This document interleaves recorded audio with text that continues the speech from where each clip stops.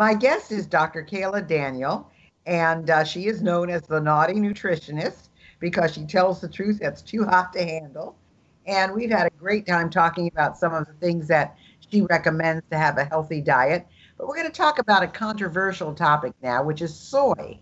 Uh, soy has been painted as the end all and be all in some respects. And in others, it's been painted as well, this is the worst thing you could ever put in your body. So you talk about practicing safe soy. Tell us what that means. I am often thought to be an anti soy person, but the truth is, I enjoy miso soup. I enjoy a little natto once in a while, a little tempeh, some of the traditional soy products that uh, have been used for many years in, in Asia. But uh, there are many modern soy products that people are using, consuming to excess, things like soy milk, uh, soy energy bars, soy shake powders, and um, all the fake meats, the the soy loins and the sham hams, and all of the all of the fake fake fake meat products made out of soy. Those are the things I have the most concern about. And so there's a big difference between small quantities of old fashioned whole soy products and some of the modern modern inventions. So that's something I think people need to think about. But I would caution that that there are people who are allergic to soy, and for them, all soy should be avoided. And for them, it is such a challenge because soy is in everything. It's in more than 70% of uh, processed products and just about everything that comes in a package or you buy at a restaurant. Soy is very challenging. So uh, I really have a lot of sympathy for the many, many people who are developing soy allergies. And yes, soy allergies have increased dramatically since the first GMO soy came on the market. So that that's another issue that if people do want to eat soy, despite the warnings that I want to give about some of the problems, they should definitely seek out organic soy products because the ge- genetically modified soy products are much much worse, both for us personally in terms of our health and in terms of the environment. So very very important to go organic. Now, yeah, that's interesting because I had no idea soy was in so many products. Well, you'd be amazed. It's in things like bumblebee canned tuna. And like, why? Years ago, if soy was added to a product, it was considered uh, something that was cheapening the product. And it was something that people had to eat in poor countries like Cuba or Russia, or uh, if you were an old hippie. it, it, it had a real image problem. But the soy industry was absolutely brilliant that they came up with the idea that the way to sell soy would be to make it an upscale product that was a health food. And they were absolutely brilliant in turning around people's idea about soy. Like before, it had a serious image problem, poverty consciousness. Uh, many, many things wrong with it. But now a whole lot of people believe it's going to be healthy, that it's going to prevent everything from heart disease to cancer. And in fact, the research is very mixed, and um, it can actually cause, contribute to, and accelerate the growth of many cancers. It can cause certain kinds of heart problems. And because of that, the FDA is actually finally retracting the health claim it first allowed in 1999. So that's that's huge. The FDA does not usually retract themselves on anything. I'm very surprised. Yeah, I remember that. Um, I remember that they they said that soy products were good uh, to prevent cancer. And then I went to a lecture somewhere, and that person said, no, uh, it, it helped cause cancer. Of course, I think there's so many things they don't know, and it changes. This is good one time and it's not good another. But uh, what about helping women go through menopause? Is it a safe and effective remedy for that? Well, that's an interesting question because it does seem to help some women with symptoms. But the downside is we've got more than 70 years of research indicating that it's going to damage your thyroid. So I don't think that's a good trade off. And so many women uh, in their midlife years are already experiencing lethargy, fatigue, weight gain, malaise, loss of libido, and other things. They go to their doctors, and the doctor says, Well, you're, you're going through menopause. What do you expect? And if your thyroid is down, and many, many people have, have thyroids that are, are hypo or under functioning, and soy will actually make that worse. And the research on that is extremely compelling, very consistent. So, um, you know, I, I just don't think it's almost, you look at things, I don't even know if you dare put anything in your mouth anymore because there's so many, so many rules. Um, but yet Asians eat a lot of soy and they seem to be very healthy. Well, actually, I would challenge that uh, in a couple ways. Like, first of all, Asia is a huge continent with many different people and dietary customs. So it's different in different parts of China, it's different in Japan, Korea, uh, Vietnam, and so forth. Uh, but wherever we look at the soy in the diet in Asia, we discover that traditionally it was used as a condiment in the diet and not as a staple food. So, yes, eating small amounts perhaps every day, but we're talking very small amounts, and that's very different from drinking several glasses of soy milk, uh, soy shakes, soy energy bars, uh, tofu as, uh, say, a whole slab, like a steak size, as opposed to a few little cubes in some soup. So, very different consumption pattern.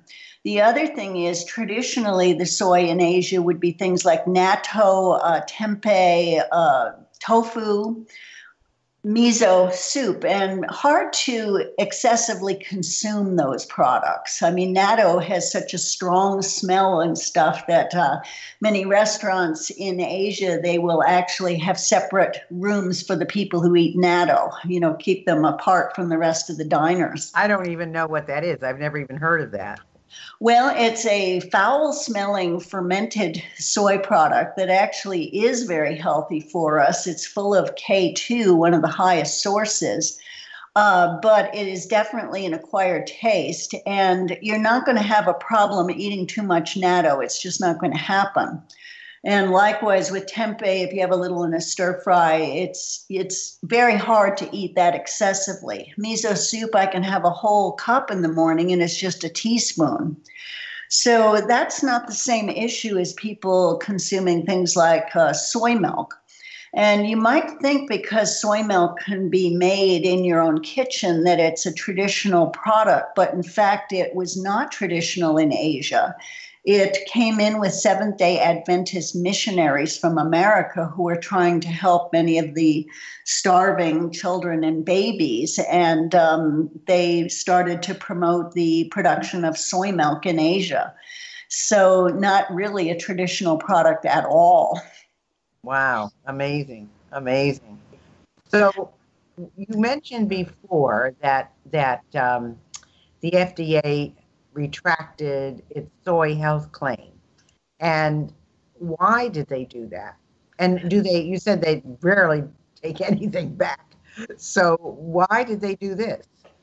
Well, I can actually take some credit for that because some years ago i was uh, i wrote a petition a really long involved petition with all the research and some top scientists signed it along with me and uh, it was filed by the Weston Price Foundation, and uh, the FDA basically sat sat on it for years. They were legally supposed to act, but nothing was happening.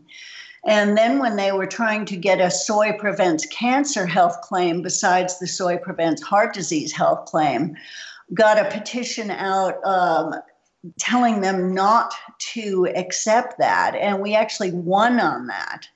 So the soy industry had thought that they would increase their sales substantially because when they went from under uh, under a billion a year to four billion a year in sales after the heart claim went through, they wanted to do something similar with the cancer claim. It was going to convince a whole lot of people to eat soy who otherwise would not eat soy. So they were pretty much forced to retract that whole cancer prevention claim. And now they're losing the heart heart prevention claim. So victory here. So where where the only thing I really know that that's um, vegetarian, et cetera, is tofu. Where does tofu fit on all of this? Well, the way I see tofu is it is a whole soy product and it is traditional. In Asia, traditionally, it was used in small quantities. In fact, where they use the most tofu would be in the monasteries because the, the, the monks started to notice that when tofu consumption went up, the naughty behavior went down. So tofu had quite a reputation for being an aid for celibacy. So, and and Japanese wives, uh, if they've got an unfaithful husband, will give him extra helpings of tofu so that he'll. so he won't stray, huh? yeah, he'll lose the ability or the desire or both. That's amazing, amazing, because I know that my um, on my uh, my sister's kids, her daughter and her granddaughter and grandson, they're all vegetarian, and they eat a lot of tofu, and um, and you're saying it's packed full of soy. Oh yes, it's it's soy. It's definitely soy. And I want to be clear, I, I enjoy a little tofu once in a while, a vegetarian potluck, or even in my own house. I make it with shiitake mushrooms, absolutely delicious, but it is an occasional thing. And I do not have thyroid problems or infertility issues or any of the reasons that one might be careful about soy consumption. Wow, unbelievable. Okay, well, it's good to know. Um, so I guess I would ask you. Um, well, first, I want to ask you about Dr. Oz. What was it like being on Dr. Oz's show? It was wonderful. Uh, he has a small audience, 100 people or so, very enthusiastic people, um, and it's so much fun and uh, Dr. Oz is fun. And I was with Dr. Mark Hyman. Uh, we had a wonderful conversation about soy. Uh, we basically reached an agreement about, uh, you know, small quantities of old-fashioned soy products are absolutely fine. And Dr. Hyman and Dr. Oz and I all agreed that our concerns were with the soy shake powders and the energy bars and the fake this and the fake that. So it was it was just a very fun experience. Wow. Well, you know, I uh, you you can tell that you. I mean, you've studied this from A to Z, Kaayla, and uh, you you are a wealth of information. Uh, but I also think it's very difficult for most people to eat this way. So, give me an idea of Kaayla's day. What do you eat in a day? Well, I get up and I will make some kind of egg dish, often eggs with some vegetables, and uh, perhaps uh, some quinoa or something that might be left over. I'm not necessarily cooking from scratch with every meal. There's a certain amount of uh, preparing ahead, shall we say. But a typical breakfast will be some eggs, um, maybe some bacon from pastured pigs, um, delicious, healthy bacon as opposed to, say, a supermarket bacon.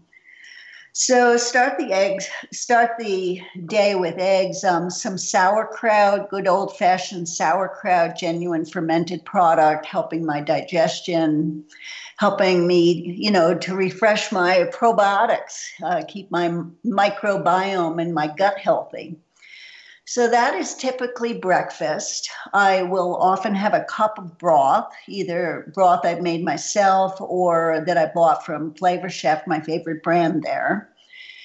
And uh, for lunch, it might be something like, say, say a salad with with some chicken. Uh, might be soup in the winter, often soup and salad. Um, uh, beef stew, different beef stews. Um, different different meats. I do well with a fair amount of meat in my diet, and you know, dinner'd be something similar: stir fry, vegetables. So I'm basically focusing on meat and vegetables, and high quality. Some grains, but I am gluten free.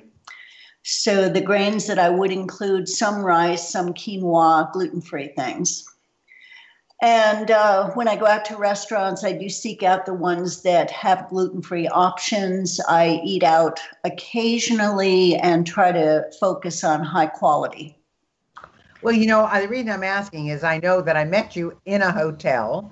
And when you stay in a hotel, I'm assuming you don't bring your own food. Maybe you do. I know some people do. Uh, so when you go to a hotel restaurant, what do you eat? Well, when we met in Atlanta, I was very blessed because one block away there was a farm to table restaurant, and I was there all the time. I spent quite a lot of money actually, but it was such a treat. It was very, very special. And a nice quiet restaurant where I could uh, recharge, uh, needed needed that quiet and, and the extra energy. And I do bring uh, or buy some groceries uh, like hard boiled eggs, things like that, so that I can have breakfast in my hotel room because I just prefer the quiet early on to start my day. Interesting. Wow. So give us an idea because this is a show for women 50 plus. Uh, give us an idea how your life has changed or what you're doing over 50 that you didn't do under 50? And have you always been in this nutritionist uh, work? And uh, what do you say, or what is some of your advice for women 50 plus? Well, I went to get my PhD in nutrition when I was 50 and got my PhD when I was 54. And at the time, my mother said, Why would you do this at your advanced age? And it was advanced age. I love it. Well, of course, you know, when when your mom was 50, 50 was old, you know? Yeah. And, and, yeah. So that's interesting. I had another guest and she didn't do her um, doctorate until she was, I think, uh, 50 as well. So, um, so here we have a couple of people who are now doing their doctorates at 50. And uh, I think that's great. And that's our listeners need to know it's just never too late. You can do what you want to do no matter what your age. Okay, so go ahead. You start. You got to doctorate. Yeah, it's never too late, and you know we adult learners, we're paying for it ourselves, so we're very focused. right. Exactly. But the reason I decided to get a PhD in nutritional sciences when I was 50 was because for many years I'd been sick and tired, and I was sick and tired of being sick and tired. I tried every diet that was out there. I tried veganism and live food, combining in Ayurvedic and traditional Chinese medicine and juicing. I tried everything and didn't start to get really well until I found a traditional diet, omnivorous diet that includes um, many, many foods that are, that are animal products. So, I once I had that knowledge and started to regain my health and energy, I really wanted to work in that field and share what I'd learned and make it accessible to people. And that's where that naughty nutritionist comes in because people are sick and tired of all of the contradictory, inconsistent dietary advice. They're overwhelmed. And I just try to make it fun and good good information, education plus entertainment. So what did you do in your the first part of your life? I grew up on a farm, but it was a farm where there was pesticide use. So I was exposed to a lot of that as I was growing up. And grew up in a family where where there was a lot of pressure to uh, to succeed, to be perfect, and that can be that can be rough. And I started out in music and then I became an art critic, tried various things, and my health problems were really holding me back in all of those fields. And eventually, uh, developed this new passion for for nutrition and traditional cultures and learning and and that's what I'm doing now. Wow. So, how do you work with people? Tell me, how do people work with you? Do they hire you to work with them individually? Do you go into companies? Uh, what do you do? I mostly work with clients one to one, and I work with people from all over the world. One of the wonders of father technology is we have Skype, we have Zoom, we have ways to look at each other face to face. So I can be talking to somebody in Norway, and the, the biggest problem is figuring out the time zones. So I can work with people wherever they live, and we can do lab work uh, wherever they live.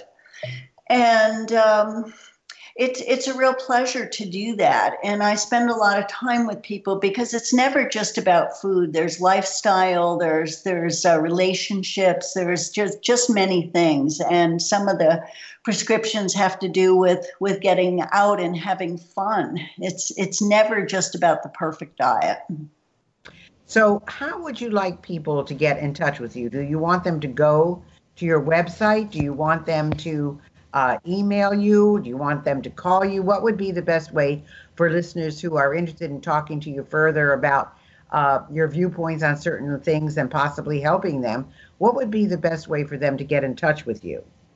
Uh, the website drkaayladaniel.com and there's a little pop-up and people can set up an appointment and we can uh, talk for free to just get to know each other and if it feels like a good match we can go forward Okay, and remember that's Kaayla with two A's.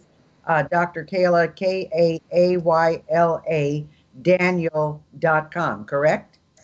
That's right. And I love working with women over 50. Uh, you know that's that's my that's my age well i'm 67 now so so working with people in in this age group and helping us all stay very energetic and on purpose for life is what I'm after.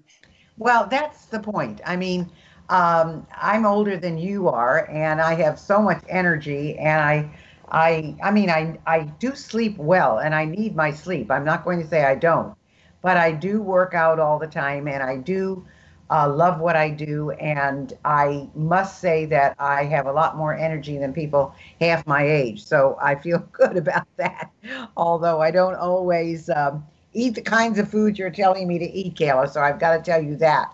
But I think people would really benefit by getting to know you, uh, working with you, hearing your knowledge, uh, and understanding what their particular issues are. And I'm sure that by doing, you're saying, you mentioned blood work. I'm sure by doing blood work, there's a lot of uh, answers that are given to you. Is that right? Yes, and there's other kinds of testing too that are even less invasive. Um, uh, there's there's saliva testing. There's um, blood spot testing where you don't have to go for a whole blood draw, where you can do it at home. Uh, there's hair mineral analysis where we can uh, learn a lot from from what's in your hair. So there's there's many ways we can test uh, that are, are more alternative, say, than a standard doctor. That's fabulous. That's great. Well, gosh, um, we have about two minutes left. Is there anything that we haven't talked about that you want our audience to know? I think it all comes back to how common sense has become uncommon. So, true, true, true. so, uh, if a, you know, we keep hearing we want miracle foods and quick fixes, it rarely works that way. So slow and steady, um, go in the right direction. We don't have to be perfect, but we do have to move in the right direction on a regular basis, I think. Well, you're not wrong there, that's for sure. Well, I hope you folks that have been listening to this understand the deep knowledge that Dr. Kaayla has and the fact uh, she's very passionate about what she does and the fact that you know she's she's doing this and she's 67 years old and she um, it, it is very happy and very enthusiastic and very uh, energetic and lives the way she wants to live. She goes to a, uh, a location, she goes to a hotel, she finds a restaurant that caters to what she wants. She carries some food with her. I mean, these are all doable things. So if you're interested in learning more, go to her website, which is Dr. Kaayla, K A A Y L A Daniel, D A N I E L dot com. See what she has, set up an appointment with her, and find out about yourself. I want to thank you so much for being with us today, Kaayla, and hopefully our listeners learned a great deal and will be able to take advantage of your knowledge. Thank you. It's been a lot of fun, Gayle.